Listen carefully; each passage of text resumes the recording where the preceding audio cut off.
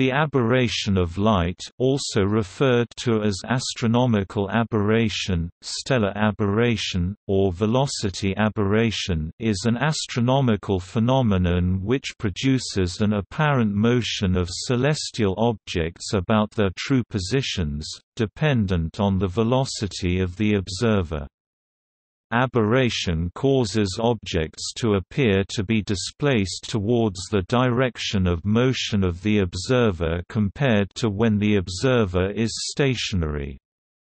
The change in angle is typically very small, of the order of v, c where c is the speed of light and v the velocity of the observer.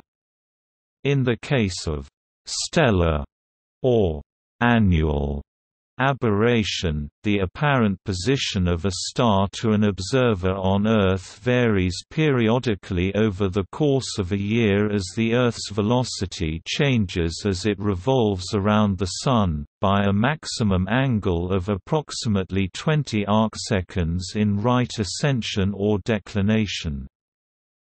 The term aberration has historically been used to refer to a number of related phenomena concerning the propagation of light in moving bodies. Aberration should not be confused with parallax. The latter is a change in the apparent position of a relatively nearby object, as measured by a moving observer, relative to more distant objects that define a reference frame.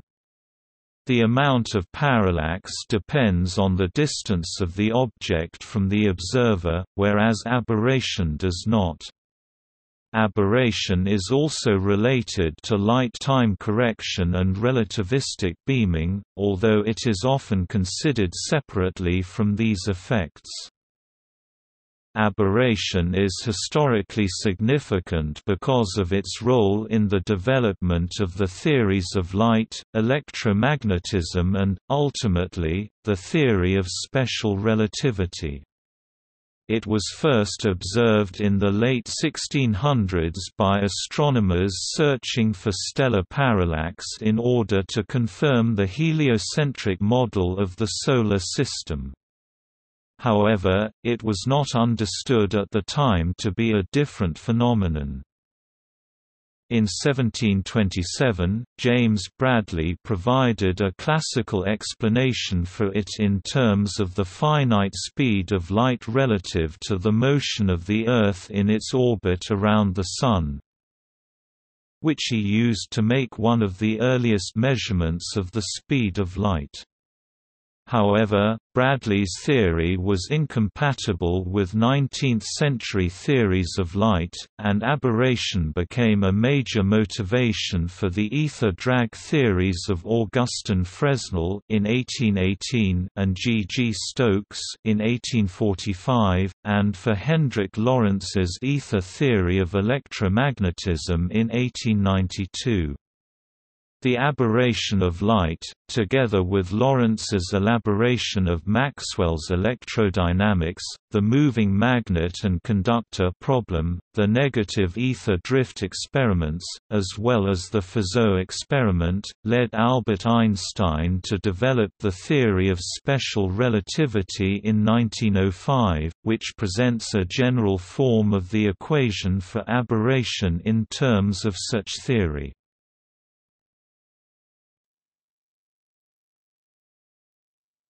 Topic. Explanation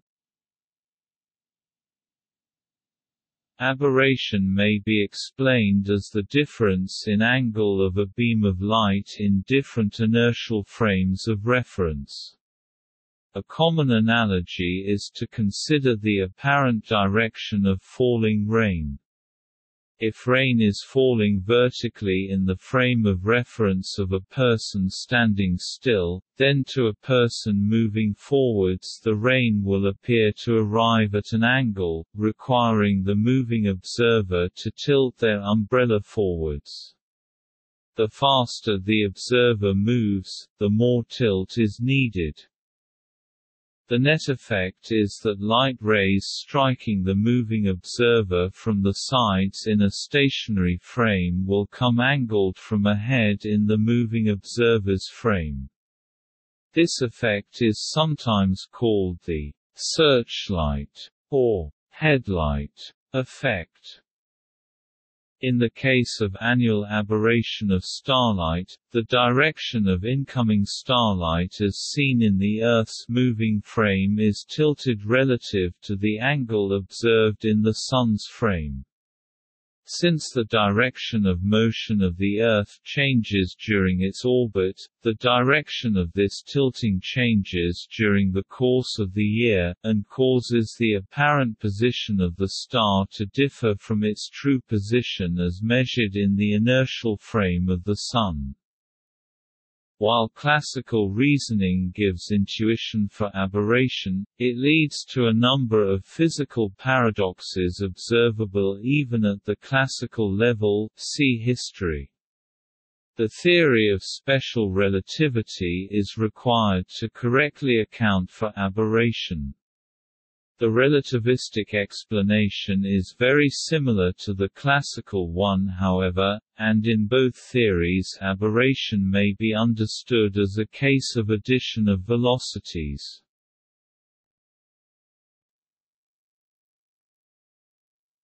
Topic: Classical explanation In the Sun's frame, consider a beam of light with velocity equal to the speed of light c, with x and y velocity components u x display u underscore x and u y display u underscore y at an angle tan theta equals u y u x Display style tan theta equals u underscore y u underscore x. If the Earth is moving at velocity v display style v in the x direction relative to the sun then by velocity addition the x component of the beam's velocity in the earth's frame of reference is u x equals u x plus v display style u underscore x equals u underscore x plus v and the y velocity is unchanged.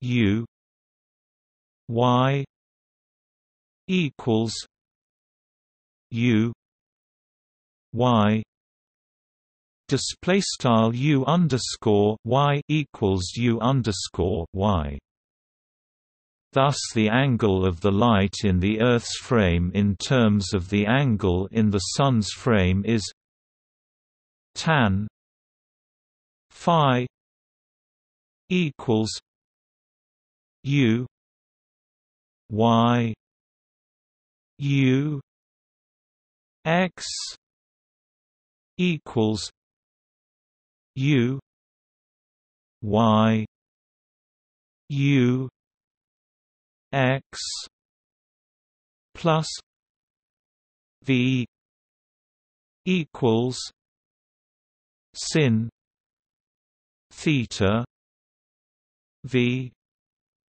c plus cos theta Display style tan phi equals frac u underscore y u underscore x equals frac u underscore y u underscore x plus v equals frac sin theta v c plus cos theta. In the case of theta equals 90 display style theta equals 90 caret circ. This result reduces to tan theta minus phi equals v c. Display style tan theta phi equals v c which in the limit v c 1 display style v c ll 1 may be approximated by theta minus phi equals v c display style theta phi equals v c.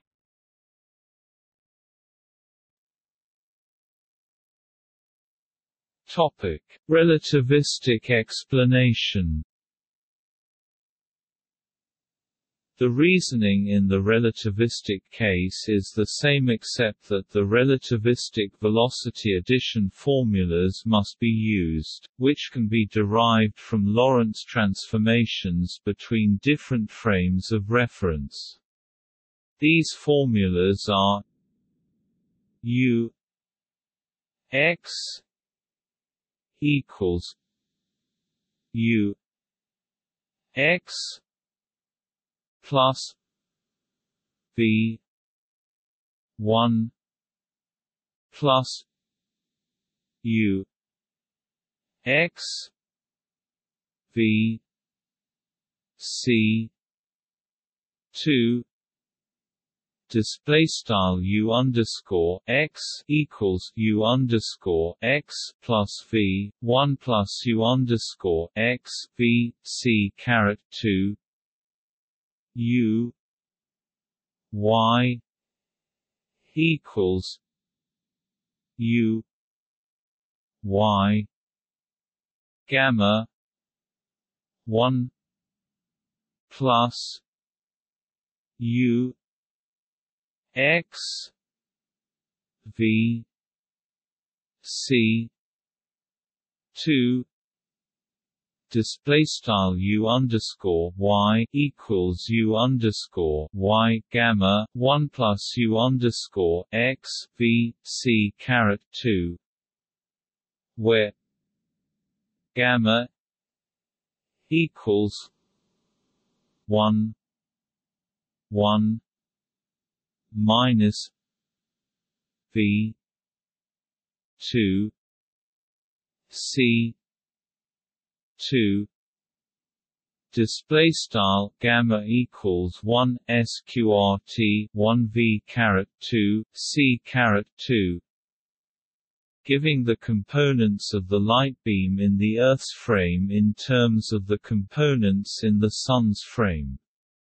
The angle of the beam in the Earth's frame is thus tan phi equals U Y U X equals U Y gamma U X plus V equals sin theta gamma V C plus cos theta display style tan phi equals frac u underscore y u underscore x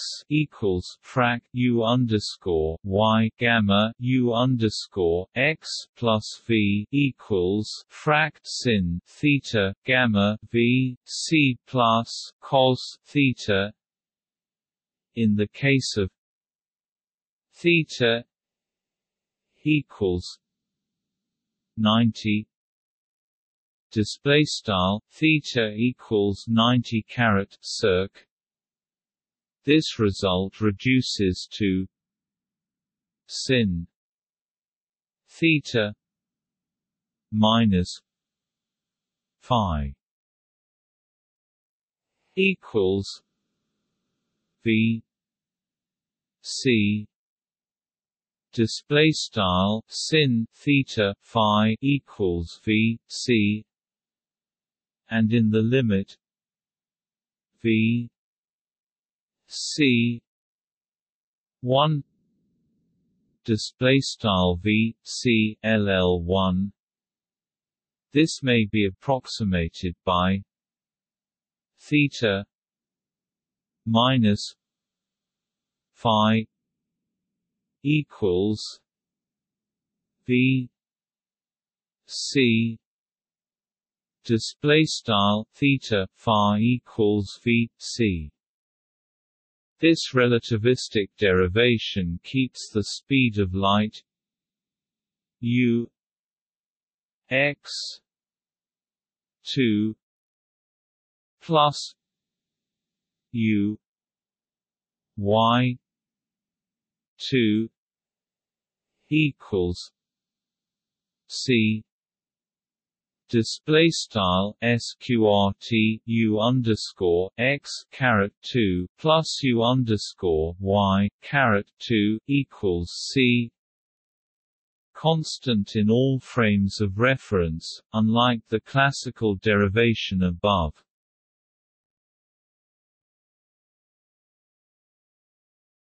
Topic. Relationship to light time correction and relativistic beaming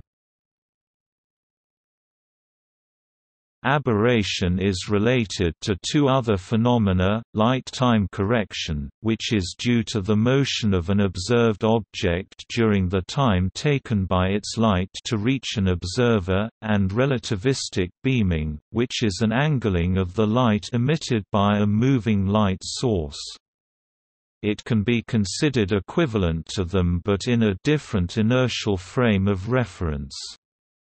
In aberration, the observer is considered to be moving relative to a for the sake of simplicity stationary light source, while in light time correction and relativistic beaming the light source is considered to be moving relative to a stationary observer. Consider the case of an observer and a light source moving relative to each other at constant velocity, with a light beam moving from the source to the observer. At the moment of emission, the beam in the observer's rest frame is tilted compared to the one in the source's rest frame, as understood through relativistic beaming. During the time it takes the light beam to reach the observer the light source moves in the observer's frame, and the true position of the light source is displaced relative to the apparent position the observer sees, as explained by light time correction. Finally, the beam in the observer's frame at the moment of observation is tilted compared to the beam in source's frame, which can be understood as an aberrational effect. Thus, a person in the light source's frame would describe the apparent tilting of the beam in terms of aberration, while a person in the observer's frame would describe it as a light time effect. The relationship between these phenomena is only valid if the observer and source's frames are inertial frames. In practice, because the Earth is not an inertial rest frame but experiences centripetal acceleration towards the Sun, many aberrational effects such as annual aberration on Earth cannot be considered light time corrections. However, if the time between emission and detection of the light is short compared to the orbital period of the Earth, the Earth may be approximated as an inertial frame and aberrational effects are equivalent to light time corrections.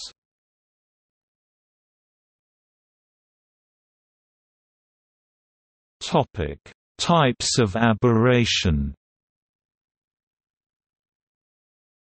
There are a number of types of aberration, caused by the differing components of the Earth's and observed objects' motion. Annual aberration is due to the orbital revolution of the Earth around the Sun. Planetary aberration is the combination of aberration and light time correction.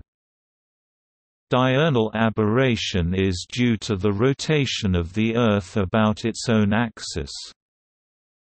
Secular aberration is due to the motion of the Sun and Solar System relative to other stars in our galaxy.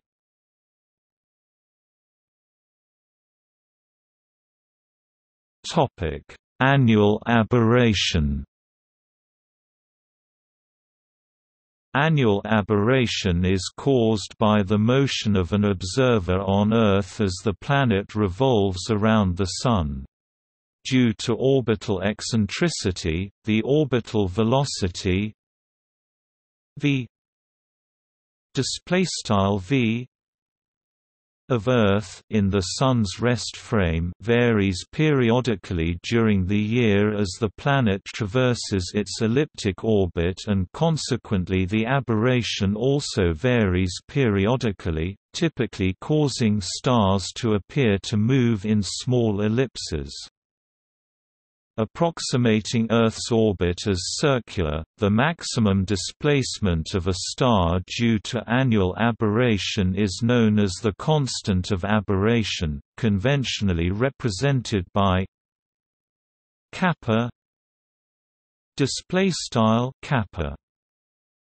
It may be calculated using the relation kappa equals theta minus phi approximately equals v c display style kappa equals theta phi approximately v c substituting the earth's average speed in the sun's frame for v display style v and the speed of light. C. Display style c its accepted value is 20.49552 arcseconds at J2000. Assuming a circular orbit, annual aberration causes stars exactly on the ecliptic, the plane of Earth's orbit, to appear to move back and forth along a straight line, varying by kappa display style kappa on either side of their position in the Sun's frame. A star that is precisely at one of the ecliptic poles at 90 degrees from the ecliptic plane will appear to move in a circle of radius kappa display style kappa about its true position, and stars at intermediate ecliptic latitudes will appear to move along a small ellipse. For illustration, consider a star at the northern ecliptic pole viewed by an observer at a point on the Arctic Circle. Such an observer will see the star transit at the zenith, once every day strictly speaking sidereal day. At the time of the March equinox, Earth's orbit carries the observer in a southwards direction, and the star's apparent declination is therefore displaced to the south by an angle of kappa display style kappa on the September equinox, the star's position is displaced to the north by an equal and opposite amount. On either solstice, the displacement in declination is zero. Conversely, the amount of displacement in right ascension is zero on either equinox and at maximum on either solstice. In actuality, Earth's orbit is slightly elliptic rather than circular, and its speed varies somewhat over the course of its orbit, which means the description above is only approximate. Aberration is more accurately calculated using Earth's instantaneous velocity relative to the barycenter of the Solar System. Note that the displacement due to aberration is orthogonal to any displacement due to parallax. If parallax were detectable, the maximum displacement to the south would occur in December, and the maximum displacement to the north in June.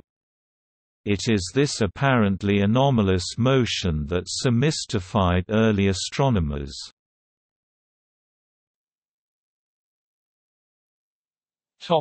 Solar annual aberration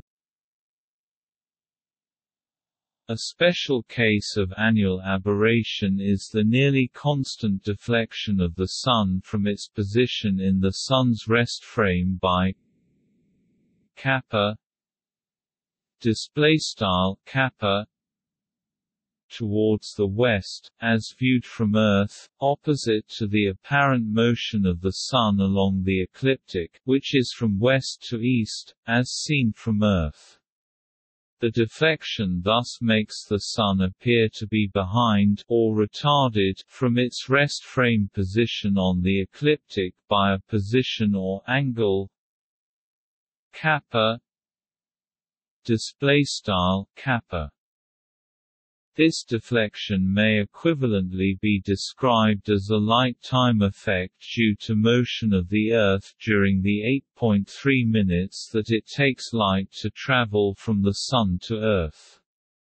This is possible since the transit time of sunlight is short relative to the orbital period of the Earth, so the Earth's frame may be approximated as inertial. In the Earth's frame, the Sun moves by a distance. Delta x equals v t. Display style delta x equals vt in the time it takes light to reach earth t equals r C. Display style t equals r c. For the orbit of radius r. Display style r. This gives an angular correction.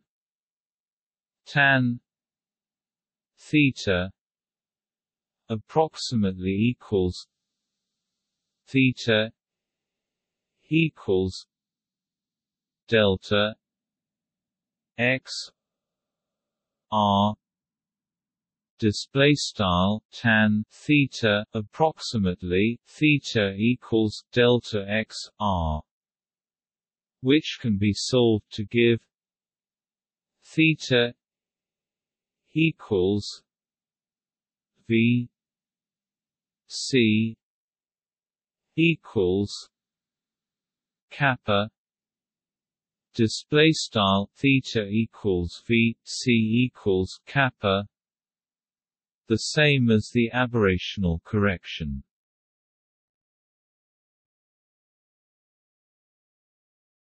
Topic planetary aberration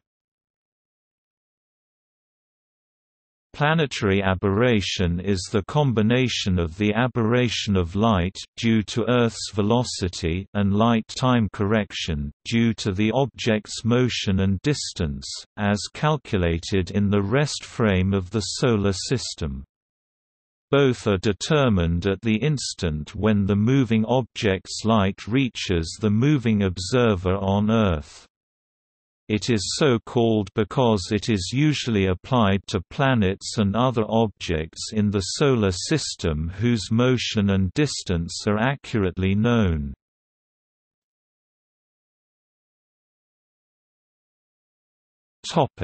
Diurnal aberration Diurnal aberration is caused by the velocity of the observer on the surface of the rotating Earth. It is therefore dependent not only on the time of the observation, but also the latitude and longitude of the observer. Its effect is much smaller than that of annual aberration, and is only 0.32 arcseconds in the case of an observer at the equator, where the rotational velocity is greatest.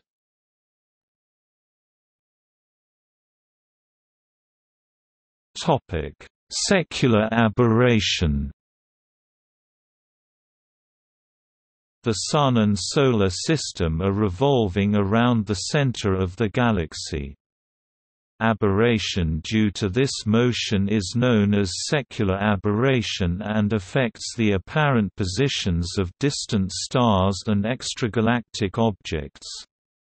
However, since the galactic year is about 230 million years, the aberration varies very slowly and this change is extremely difficult to observe. Therefore, secular aberration is usually ignored when considering the positions of stars. In other words, star maps show the observed apparent positions of the stars, not their calculated true positions after accounting for secular aberration. For stars significantly less than 230 million light-years away, the Solar System may be approximated as an inertial frame and so the effect of secular aberration is equivalent to a light time correction. This includes stars in the Milky Way, since the Milky Way is about 100,000 light-years in diameter. For these stars the true position of the star is then easily computed from its proper motion and its distance. Secular aberration is typically a small number of arc minutes, for example the stationary star Groombridge 1830 is displaced by approximately 3 arc minutes, due to secular aberration.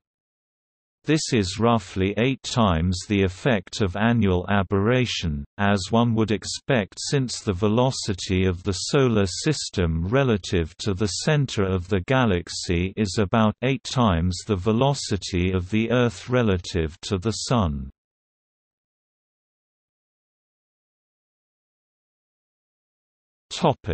Discovery and first observations The discovery of the aberration of light was totally unexpected, and it was only by considerable perseverance and perspicacity that Bradley was able to explain it in 1727. It originated from attempts to discover whether stars possessed appreciable parallaxes.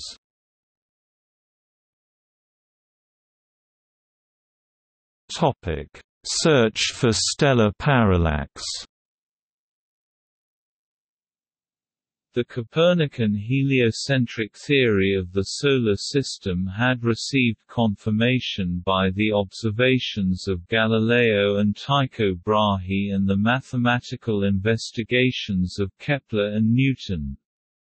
As early as 1573, Thomas Digges had suggested that parallactic shifting of the stars should occur according to the heliocentric model, and consequently if stellar parallax could be observed it would help confirm this theory. Many observers claim to have determined such parallaxes, but Tycho Brahe and Giovanni Battista Riccioli concluded that they existed only in the minds of the observers, and were due to instrumental and personal errors. However, in 1680 Jean Picard, in his Voyage d'Uraniborg, stated, as a result of ten years' observations, that Polaris, the pole star, exhibited variations in its position amounting to 40 inches annually. Some astronomers endeavored to explain this by parallax, but these attempts failed because the motion differed from that which parallax would produce. John Flamsteed, from measurements made in 1689 and succeeding years with his mural quadrant, similarly concluded that the declination of Polaris was 40 inches less in July than in September. Robert Hooke, in 1674, published his observations of Gamma Draconis, a star of magnitude 2 meters which passes practically overhead at the latitude of London, hence its observations are largely free from the complex corrections due to atmospheric refraction, and concluded that this star was 23 inches more northerly in July than in October.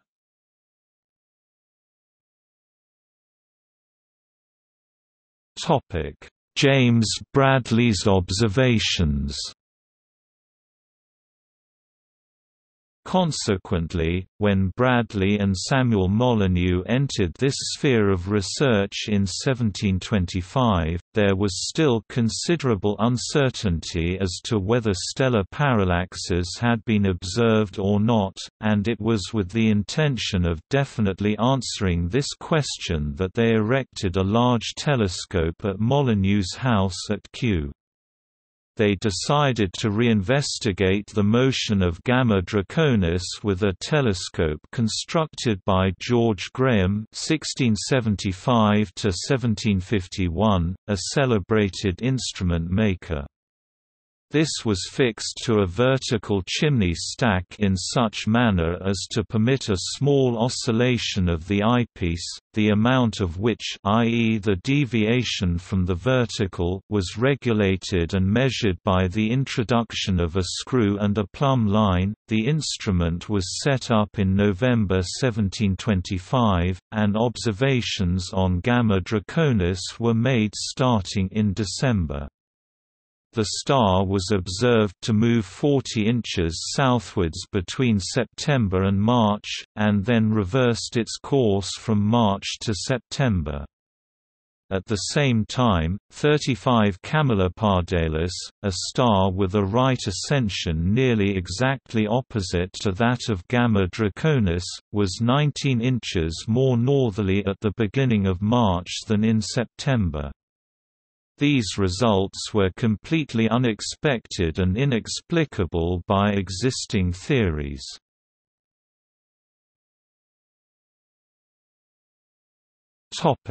Early hypotheses Bradley and Molyneux discussed several hypotheses in the hope of finding the solution. Since the apparent motion was evidently caused neither by parallax nor observational errors, Bradley first hypothesized that it could be due to oscillations in the orientation of the Earth's axis relative to the celestial sphere, a phenomenon known as nutation. 35 Camelopardalis was seen to possess an apparent motion which could be consistent with nutation, but since its declination varied only one-half as much as that of Gamma Draconis, it was obvious that nutation did not supply the answer. However, Bradley later went on to discover that the Earth does indeed nutate.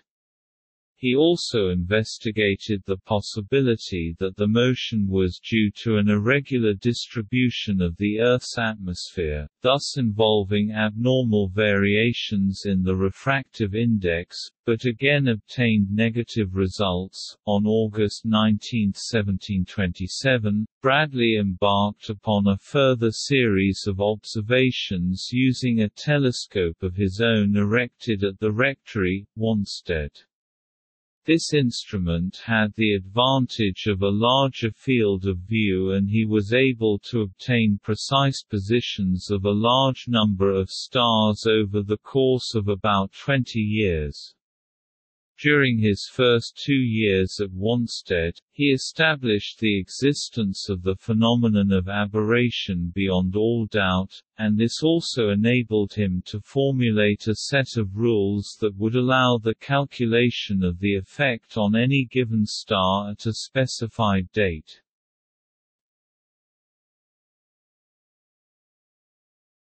Topic: Development of the theory of aberration.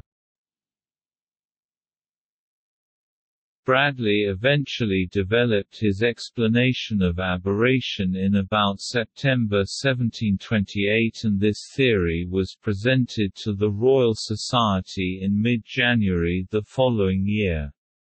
One well-known story was that he saw the change of direction of a wind vane on a boat on the Thames, caused not by an alteration of the wind itself, but by a change of course of the boat relative to the wind direction. However, there is no record of this incident in Bradley's own account of the discovery, and it may therefore be apocryphal.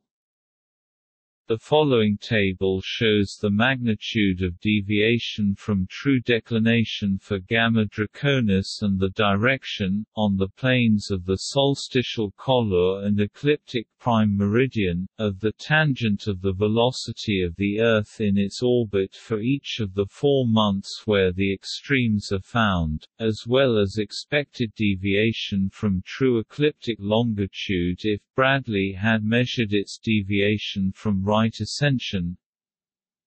Bradley proposed that the aberration of light not only affected declination, but right ascension as well, so that a star in the pole of the ecliptic would describe a little ellipse with a diameter of about 40 inches, but for simplicity, he assumed it to be a circle. Since he only observed the deviation in declination, and not in right ascension, his calculations for the maximum deviation of a star in the pole of the ecliptic are for its declination only, which will coincide with the diameter of the little circle described by such star. For eight different stars, his calculations are as follows Based on these calculations, Bradley was able to estimate the constant of aberration at 20.2, which is equal to 0.00009793 radians, and with this was able to estimate the speed of light at 183,300 miles, 295,000 kilometers per second. By projecting the little circle for a star in the pole of the ecliptic, he could simplify the calculation of the relationship between the speed of light and the speed of the Earth's annual motion in its orbit as follows.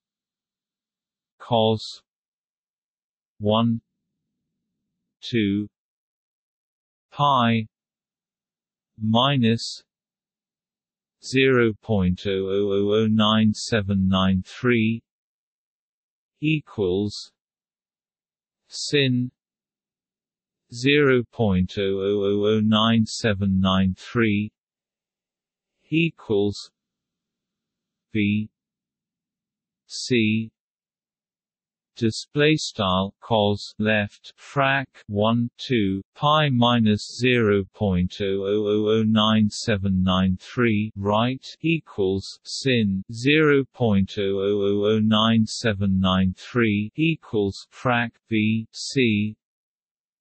Thus, the speed of light to the speed of the Earth's annual motion in its orbit is 10,210 to 1, from whence it would follow, that light moves, or is propagated as far as from the Sun to the Earth in 8 feet 12. The discovery and elucidation of aberration is now regarded as a classic case of the application of scientific method, in which observations are made to test a theory, but unexpected results are sometimes obtained that in turn lead to new discoveries.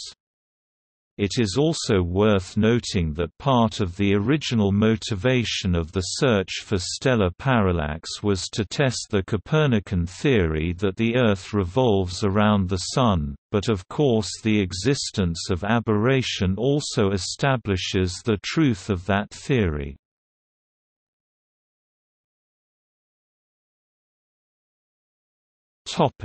Historical theories of aberration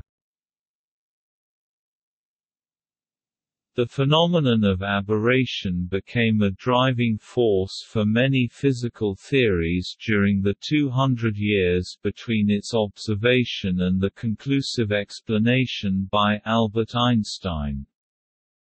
The first classical explanation was provided in 1729, by James Bradley as described above, who attributed it to the finite speed of light and the motion of Earth in its orbit around the Sun. However, this explanation proved inaccurate once the wave nature of light was better understood, and correcting it became a major goal of the 19th-century theories of luminiferous ether. Augustin Jean Fresnel proposed a correction due to the motion of a medium, the ether, through which light propagated, known as partial ether drag. He proposed that objects partially drag the ether along with them as they move, and this became the accepted explanation for aberration for some time. George Stokes proposed a similar theory, explaining that aberration occurs due to the flow of ether induced by the motion of the Earth. Accumulated evidence against these explanations, combined with new understanding of the electromagnetic nature of light, led Hendrik Lorentz to develop an electron theory which featured an immobile ether, and he explained that objects contract in length as they move through the ether. Motivated by these previous theories, Albert Einstein then developed the theory of special relativity in 1905, which provides the modern account of aberration.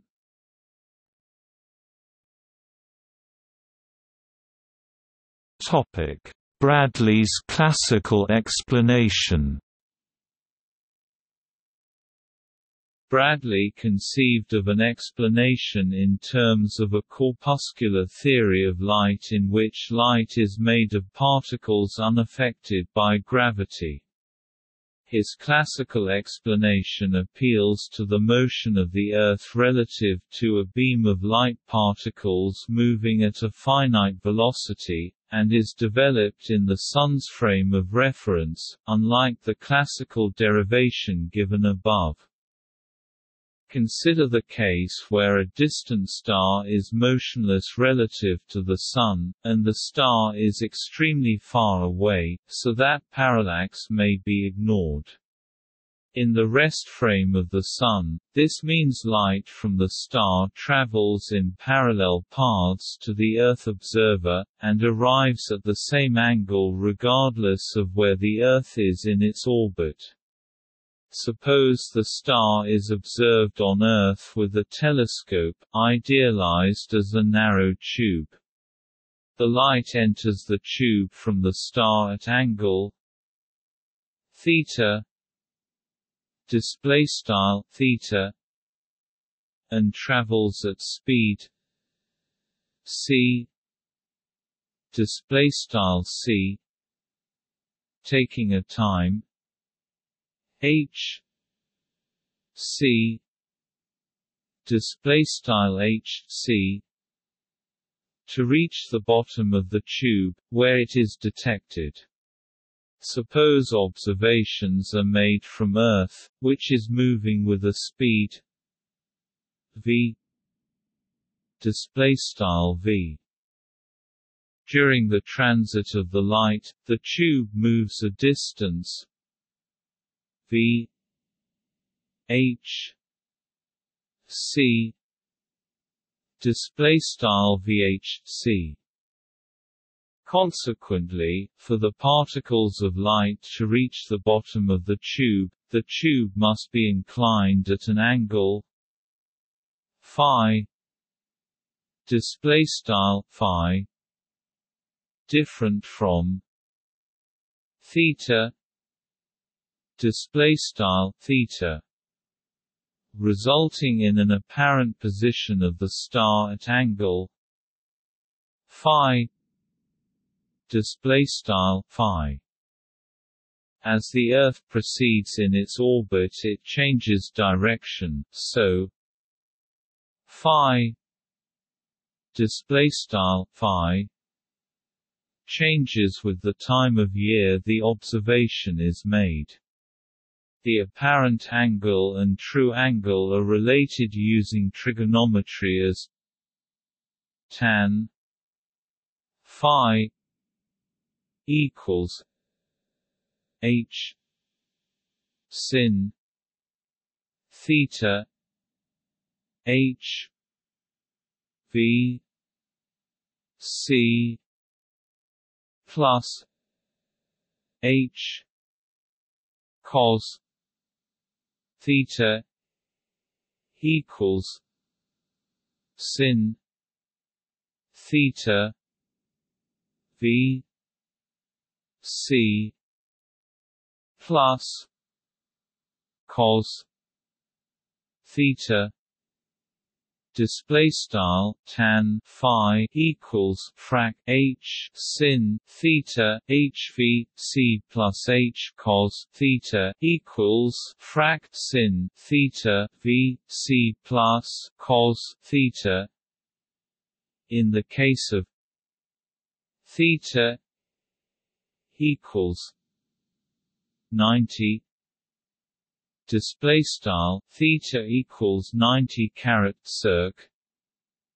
This gives tan theta minus phi equals v c.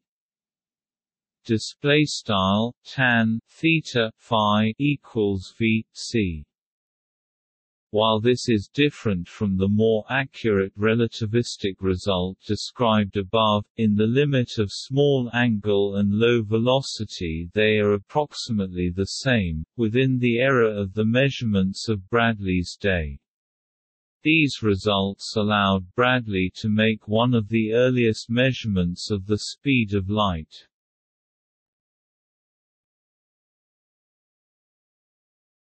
Topic Luminiferous ether In the early 19th century the wave theory of light was being rediscovered, and in 1804 Thomas Young adapted Bradley's explanation for corpuscular light to wave-like light traveling through a medium known as the luminiferous ether. His reasoning was the same as Bradley's, but it required that this medium be immobile in the Sun's reference frame and must pass through the Earth unaffected, otherwise the medium and therefore the light would move along with the Earth and no aberration would be observed. He wrote, Upon consideration of the phenomena of the aberration of the stars I am disposed to believe that the luminiferous ether pervades the substance of all material bodies with little or no resistance, as freely perhaps as the wind passes through a grove of trees. However, it soon became clear Young's theory could not account for aberration when materials with a non-vacuum index of refraction were present. An important example is of a telescope filled with water. The velocity of the light in such a telescope will be slower than in vacuum, and is given by c n display style c n rather than c display style c where n display style n is the index of refraction of the water. Thus, by Bradley and Young's reasoning the aberration angle is given by tan phi equals sin theta v c n plus cos theta display style tan phi equals frac sin theta v c n plus cos theta which predicts a medium dependent angle of aberration when refraction at the telescope's objective is taken into account this result deviates even more from the vacuum result. In 1810 François Arago performed a similar experiment and found that the aberration was unaffected by the medium in the telescope, providing solid evidence against Young's theory.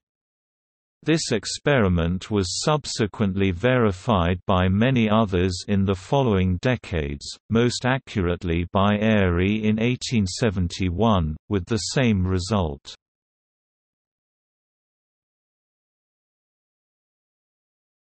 Topic: Ether drag models.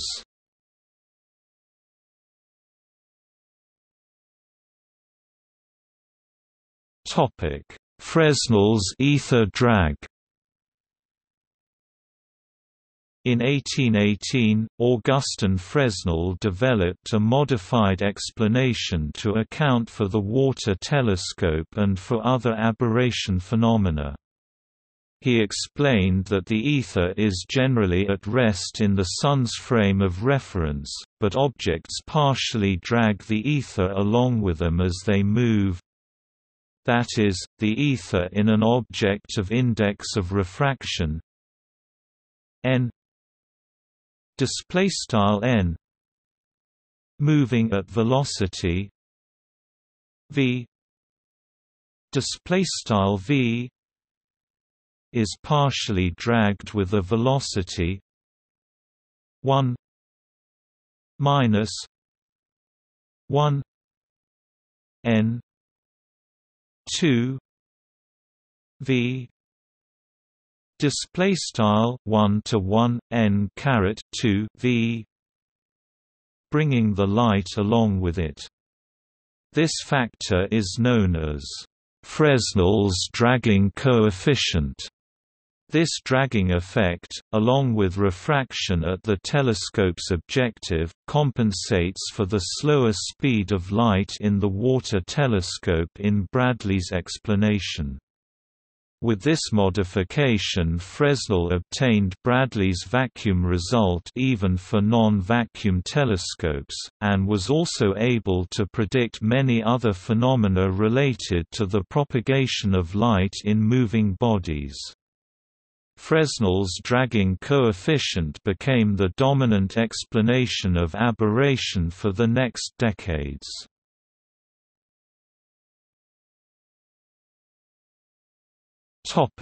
Stokes ether drag However, the fact that light is polarized, discovered by Fresnel himself, led scientists such as Cauchy and Green to believe that the ether was a totally immobile elastic solid as opposed to Fresnel's fluid ether. There was thus renewed need for an explanation of aberration consistent both with Fresnel's predictions, and Arago's observations as well as polarization. In 1845, Stokes proposed a putty-like ether which acts as a liquid on large scales but as a solid on small scales, thus supporting both the transverse vibrations required for polarized light and the ether flow required to explain aberration.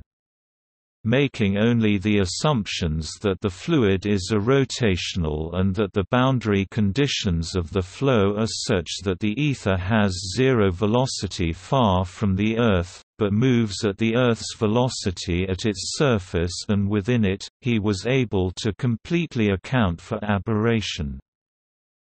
The velocity of the ether outside of the Earth would decrease as a function of distance from the Earth so light rays from stars would be progressively dragged as they approached the surface of the Earth.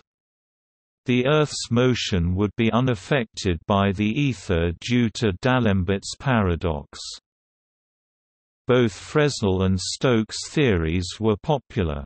However, the question of aberration was put aside during much of the second half of the 19th century as focus of inquiry turned to the electromagnetic properties of ether.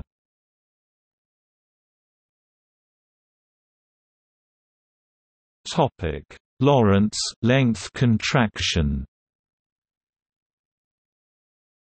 In the 1880s once electromagnetism was better understood, interest turned again to the problem of aberration.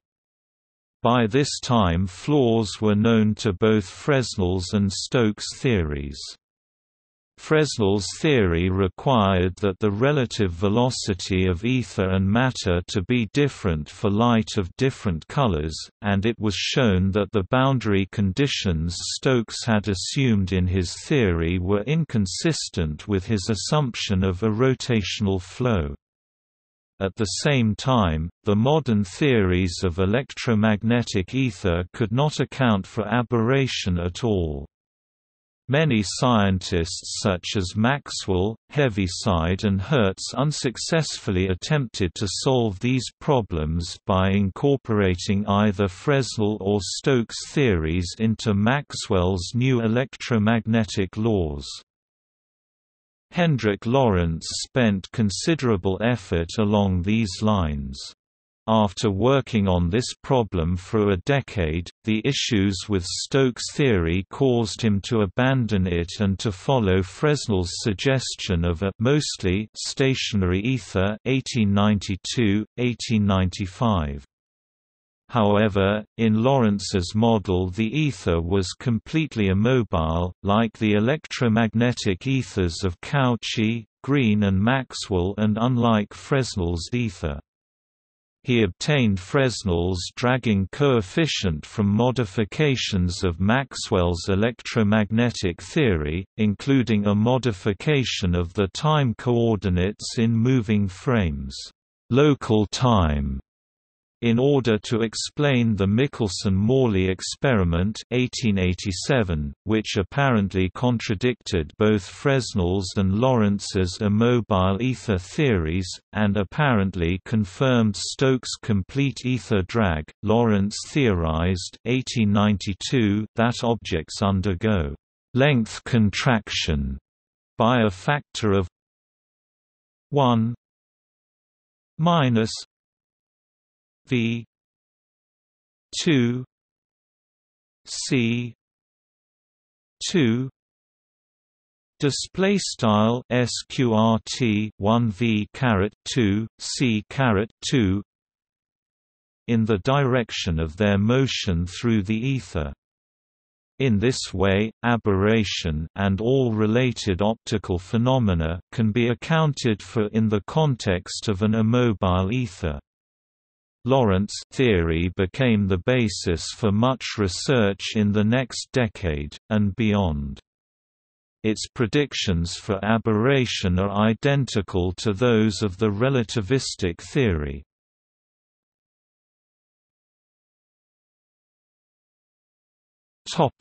Special relativity Lorentz theory matched experiment well, but it was complicated and made many unsubstantiated physical assumptions about the microscopic nature of electromagnetic media. In his 1905 theory of special relativity, Albert Einstein reinterpreted the results of Lorentz theory in a much simpler and more natural conceptual framework which disposed of the idea of an ether. His derivation is given above, and is now the accepted explanation. Robert S. Shankland reported some conversations with Einstein, in which Einstein emphasized the importance of aberration. He continued to say the experimental results which had influenced him most were the observations of stellar aberration and Fizeau's measurements on the speed of light in moving water. They were enough, he said. Other important motivations for Einstein's development of relativity were the moving magnet and conductor problem and, indirectly, the negative ether drift experiments, already mentioned by him in the introduction of his first relativity paper. Einstein wrote in a note in 1952, my own thought was more indirectly influenced by the famous Michelson–Morley experiment. I learned of it through Lorentz path-breaking investigation on the electrodynamics of moving bodies 1895, of which I knew before the establishment of the special theory of relativity.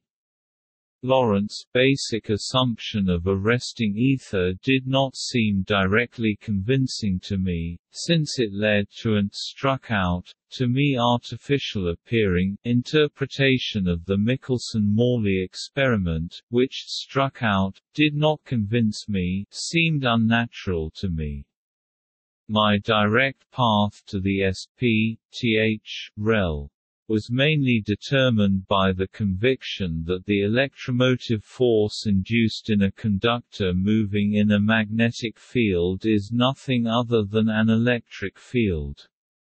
But the result of Fizeau's experiment and the phenomenon of aberration also guided me. While Einstein's result is the same as Bradley's original equation except for an extra factor of gamma display style gamma it should be emphasized that Bradley's result does not merely give the classical limit of the relativistic case, in the sense that it gives incorrect predictions even at low relative velocities. Bradley's explanation cannot account for situations such as the water telescope, nor for many other optical effects such as interference, that might occur within the telescope. This is because in the Earth's frame it predicts that the direction of propagation of the light beam in the telescope is not normal to the wavefronts of the beam, in contradiction with Maxwell's theory of electromagnetism. It also does not preserve the speed of light c between frames. However, Bradley did correctly infer that the effect was due to relative velocities.